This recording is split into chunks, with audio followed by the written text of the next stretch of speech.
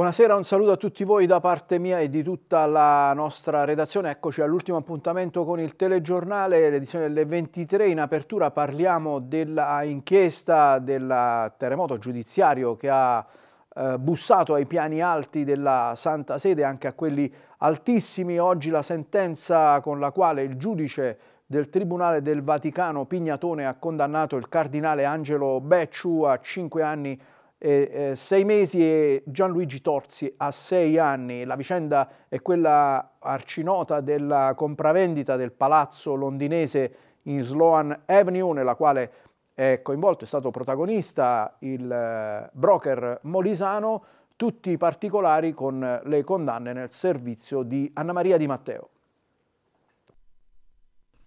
Cinque anni e sei mesi di reclusione ed interdizione perpetua dai pubblici uffici per il cardinale Angelo Becciu, sei anni di reclusione, il pagamento di una multa di 6.000 euro e l'interdizione perpetua dai pubblici uffici per Gianluigi Torzi, il broker molisano, finito nell'inchiesta sulla gestione dei fondi della Segreteria di Stato della Città del Vaticano e la compravendita di un palazzo in Sloan Avenue a Londra. Le condanne sono state messe dal Tribunale del Vaticano al termine di un processo che vede coinvolti dieci imputati per reati di natura finanziaria. Un processo articolato in ben 86 udienze, al termine delle quali è arrivata la decisione annunciata dal Presidente del Tribunale Vaticano Giuseppe Pignatone. Tutti gli imputati sono stati condannati in solido tra loro al risarcimento dei danni in favore delle parti civili per una somma complessiva di oltre 200 milioni di euro.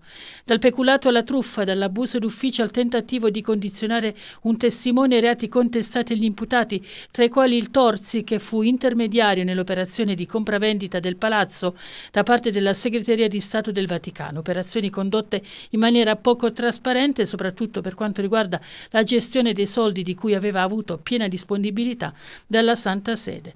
C'è profonda amarezza, è stato il primo commento di Becciu, faremo ricorso. Sempre per la cronaca giudiziaria parliamo delle motivazioni che hanno indotto il giudice Salvatore eh, Casiello a pronunciare la sentenza di condanna in corte d'assise a metà settembre nei confronti di Gianni De Vivo per l'omicidio di Natale. In pratica il giudice ha applicato i benefici del rito abbreviato. Sentiamo perché. La partita a poker della vigilia di Natale saltata per una fregatura da 50 euro. Pochi grammi di cocaina, considerati un pacco, avevano scatenato una lite sfociata poi nella morte di Cristiano Micatrotta.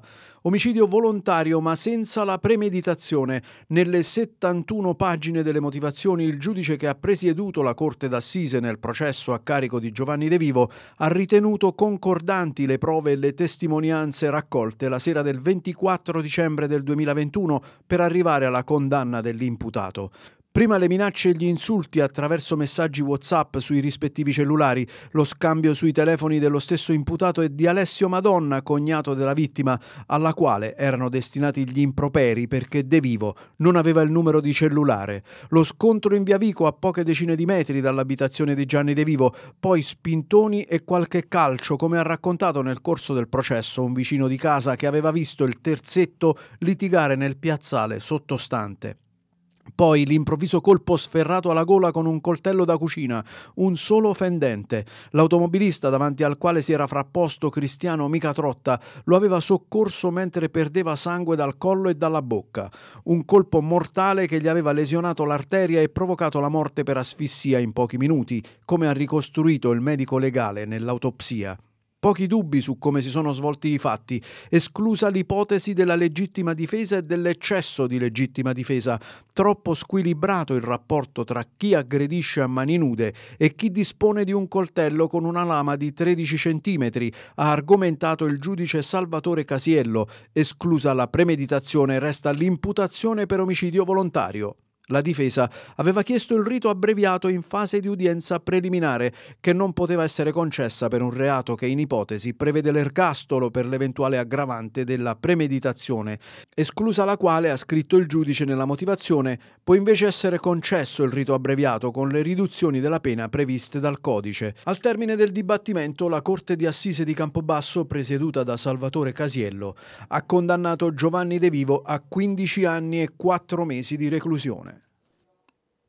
Vento forte in gran parte della regione con temperature scese quasi ovunque di qualche grado, solo qualche cartellone pubblicitario però abbattuto, mentre a Venafro un albero è caduto su un'auto in sosta provocando solo danni alla macchina al cui interno come vedete dalle immagini non c'era nessuno, sono intervenuti i vigili del fuoco che hanno messo in sicurezza anche il tetto di una casa dalla quale erano cadute alcune tegole. In tanti oggi hanno partecipato all'Open Day eh, vaccinale, l'iniziativa che è nata per fronteggiare l'ultima ondata dei casi Covid a Campobasso, Isernia e Termoli eh, in coda per eh, le dosi, non soltanto contro il Covid, ce ne parla in questo servizio Barbara Fino.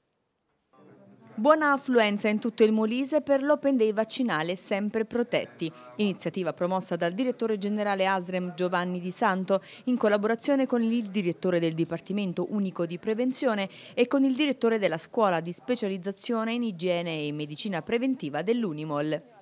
L'obiettivo è proteggere la salute della popolazione per raggiungere il più ampio numero di persone possibile, in vista delle festività natalizie, ma soprattutto considerando l'elevato numero di contagi registrato nelle ultime settimane.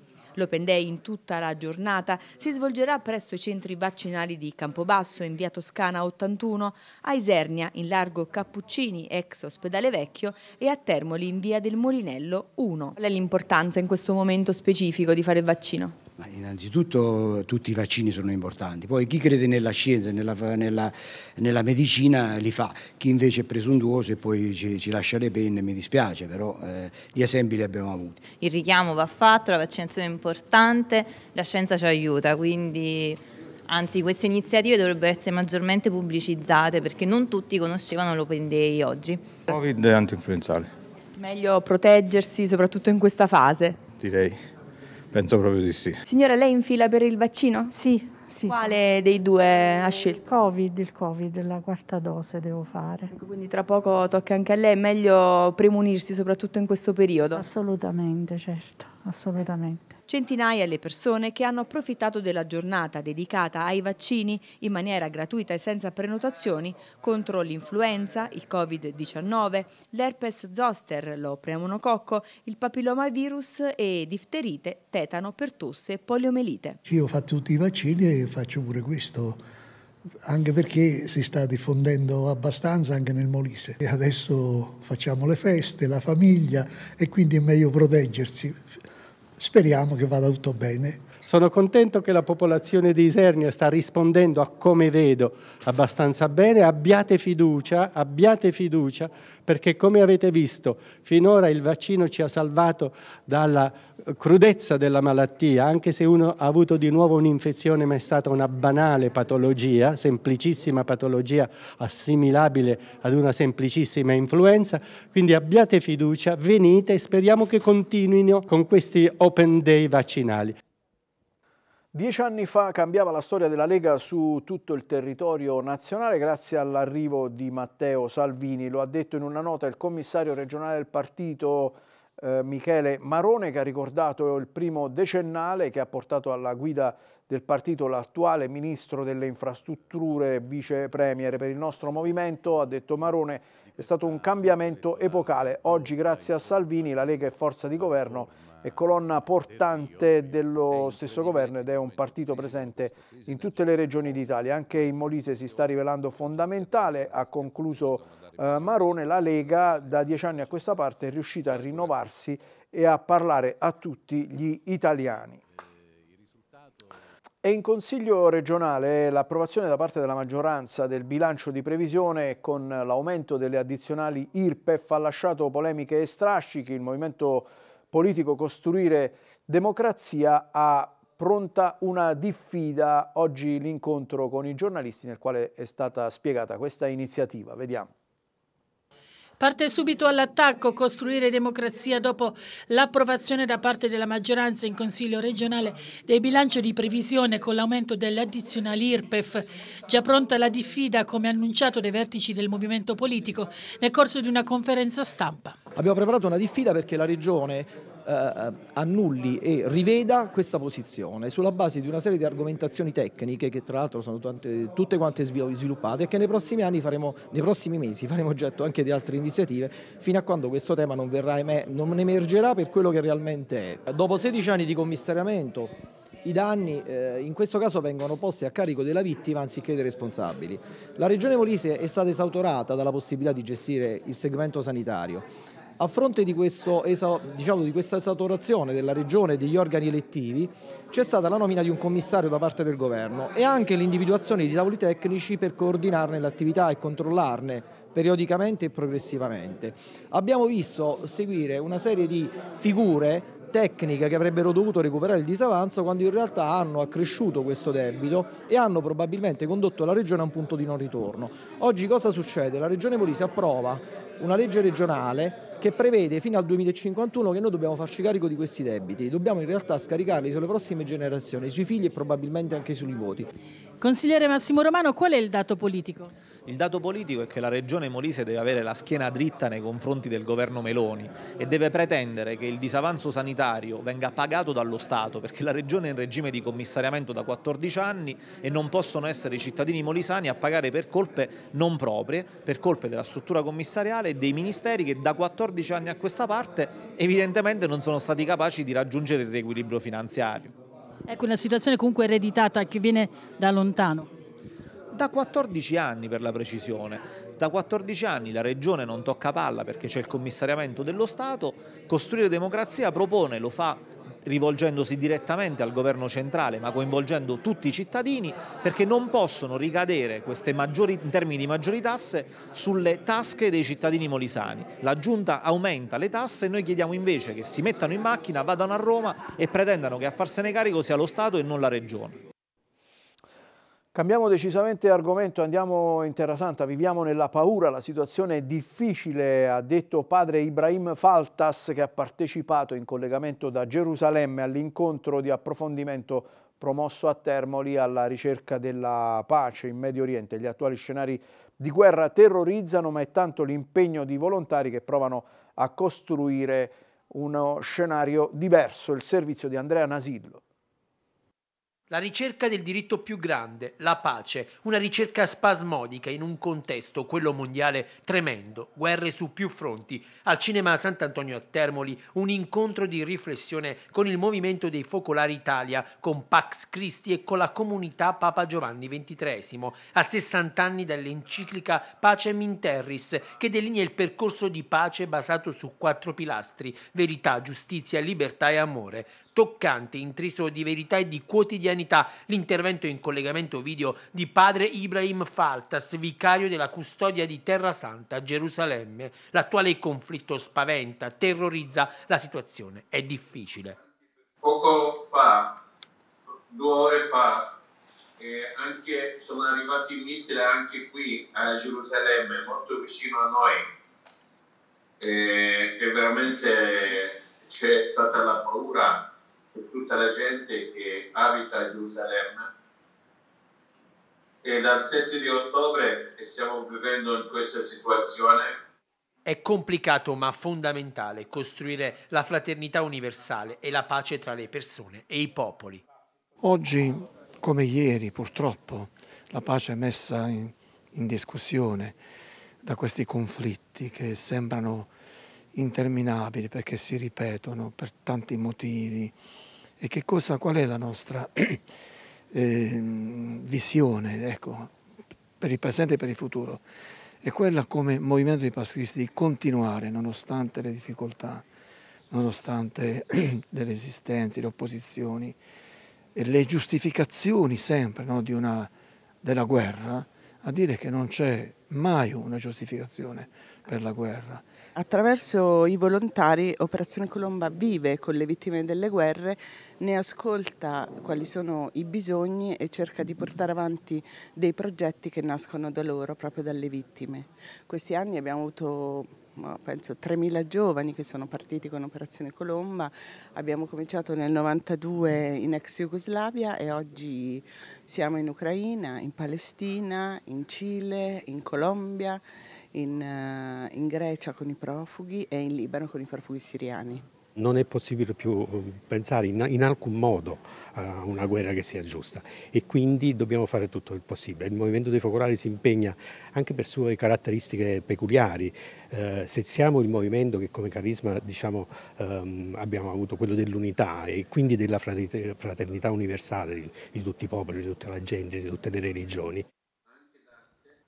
Vinchiaturo mette al bando il lancio dei palloncini alle feste o alle cerimonie. L'ordinanza è stata firmata dal sindaco Luigi Valente e riguarda la tutela dell'ambiente. Nel dettaglio il provvedimento in occasione di eventi pubblici e privati, inaugurazioni, matrimoni, feste, fiere, manifestazioni sportive, vieta di abbandonare o rilasciare palloncini anche se biodegradabili e oggetti simili che possono disperdersi senza controllo nell'ambiente. Il comune di Vinchiaturo, ha spiegato il sindaco, ha compiuto questa scelta richiamando non solo le leggi europee in tema ambientale, ma anche in riferimento al recente protocollo d'intesa con l'associazione Plastic Free eh, nell'ottica di ridurre il più possibile l'impiego della plastica. Per chi tra trasgredisce sono previste multe da 25 a 500 euro. Andiamo a Capracotta dove si è svolto il Forum delle Terre Alte, la quarta edizione ha approfondito le condizioni delle aree interne e le possibilità di sviluppo, il servizio di Barbara Fino. Il comune di Capracotta protagonista dell'atteso Forum delle Terre Alte nell'ambito degli eventi culturali di approfondimento del progetto Montagna Aperta. L'incontro che si è tenuto presso l'hotel Monte Campo è stato organizzato dal comune simbolo della montagna Alto Molisana in collaborazione con Molise e Cultura della regione. Il tema di questa quarta edizione è l'avvenire delle comunità e della montagna, in un'ottica di ripopolamento territoriale e di conservazione di un patrimonio unico e inestimabile.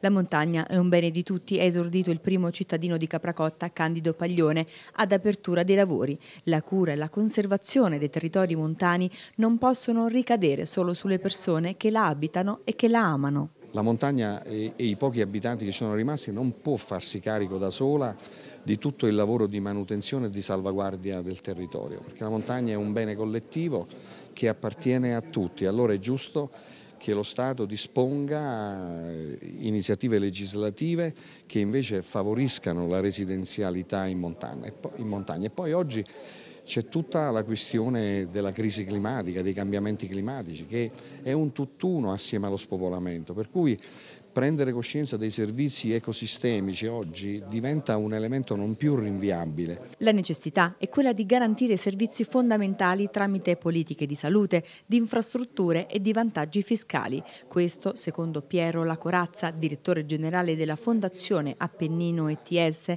consentirebbe una ridistribuzione equa di popolazione tra le grandi città e i piccoli paesi. Bisogna garantire diritti. Ogni diritto piantato in queste aree è un albero piantato appunto, significa servizi di base, eh, aree interne senza servizi, senza ospedali, senza scuole, senza mobilità, senza infrastrutture è retorica, solo retorica. E a questo bisogna poi eh, costruire le condizioni attraverso eh, dinamiche anche di sviluppo che non siano esclusivamente turistiche. Tra gli intervenuti all'incontro Anna Rizzo, antropologa culturale e autrice del libro I paesi invisibili dare valore alle comunità, ai paesani, perché i paesani eh, sono delle comunità eh, competenti che sono in grado di trovare all'interno, anche con il dialogo all'interno della propria comunità, eh, attraverso la partecipazione, delle motivazioni anche esistenziali per rimanere a vivere nel territorio.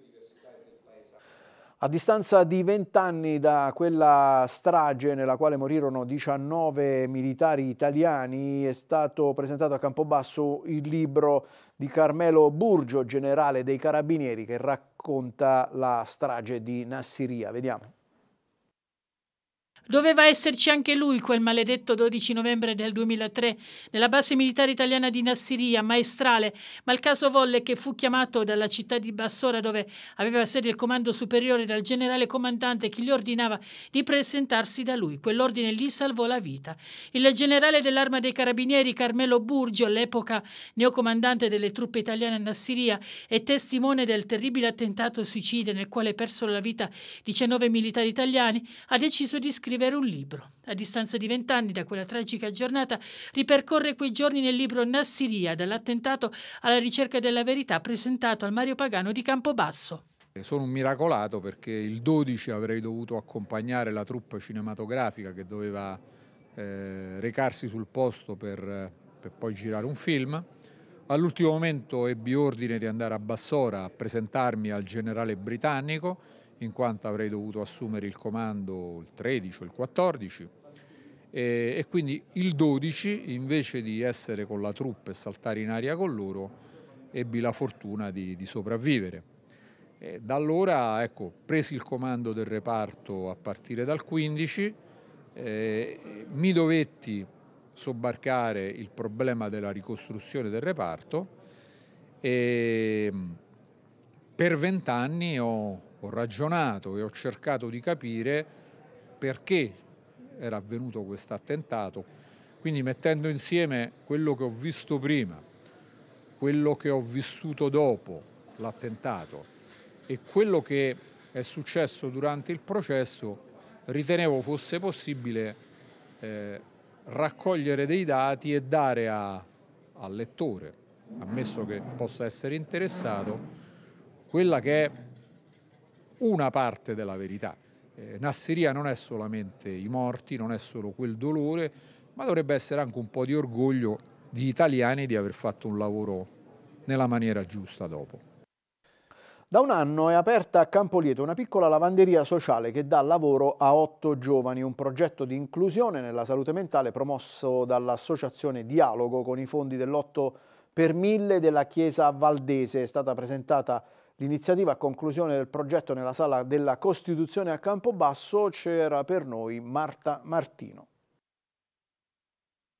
Il progetto è nato un anno fa, una piccola lavanderia sociale a Campolieto che ha dato occupazione ad otto giovani, un progetto di inclusione sociale nella salute mentale curato dalla cooperativa sociale Dialogo. La parte finale del progetto è stata presentata nella sala della Costituzione di Campobasso. Oggi presenteremo proprio quelli che sono stati gli obiettivi raggiunti attraverso questo progetto che ci consente appunto di eh, dare un'opportunità eh, alle persone che hanno partecipato eh, di eh, essere inclusi in maniera effettiva all'interno della propria rete sociale, all'interno della comunità di appartenenza, garantendo e offrendo una possibilità lavorativa aggiuntiva rispetto a quella che eh, rispetto alla precedente. Quindi adesso questa lavanderia è un punto fisso del paese. Sicuramente ehm, la società oggi potrebbe dare un contributo grande a queste persone che hanno acquisito delle abilità, delle competenze specifiche rispetto alla,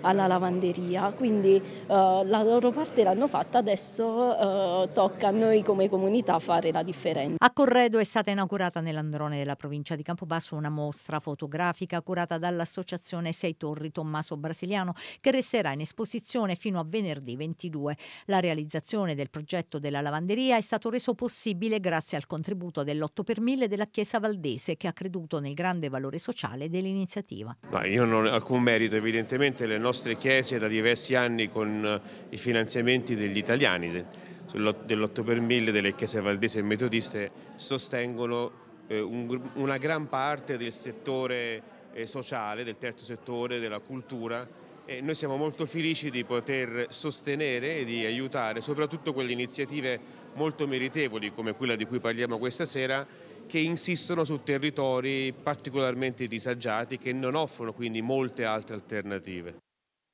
E adesso vediamo le immagini del concerto di Edoardo Bennato a Isernia che ha chiuso il ciclo di eventi promosso dalla Fondazione Molise Cultura all'Auditorium. Dopo Enrico Brignano e Patti Smith e Pio Amedeo, anche per il cantautore napoletano si è registrato il tutto esaurito. Bennato ha aperto lo spettacolo da solo, proponendo alcune delle sue canzoni più famose, diventate con il tempo classici della musica italiana. Poi nella parte centrale del concerto, accompagnato dalla band, il cantautore che ha 77 anni ha scaricato sul palco grande energia e rock blues con canzoni più recenti e altri cavalli di battaglia. Nella scaletta non sono mancati i brani tratti dai più importanti album, Burattino senza fili, sono solo canzonette fino alla torre di Babele e il suo disco di esordio del 1973, Non farti cadere le braccia.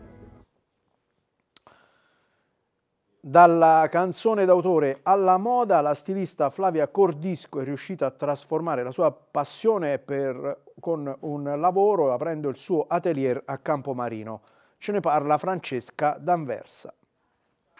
Un sogno che diventa realtà, quello della stilista Flavia Cordisco, che ha inaugurato il suo atelier di moda nel centro di Campomarino. Anni di studio e sacrifici, ma la passione e la determinazione sono sempre state il motore che l'ha spinta a non mollare nel perseguire i suoi obiettivi.